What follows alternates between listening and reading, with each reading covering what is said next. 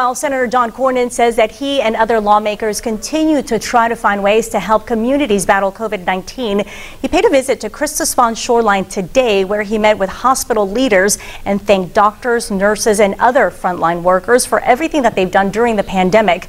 Through the CARES Act, Cornyn says that he has helped to secure more than $54 million for the hospital chain for protective equipment and to help offset losses from elective surgeries not being performed. That is on top of the tens of millions of dollars in funding for the city, county, and other entities. And he says they're not done yet.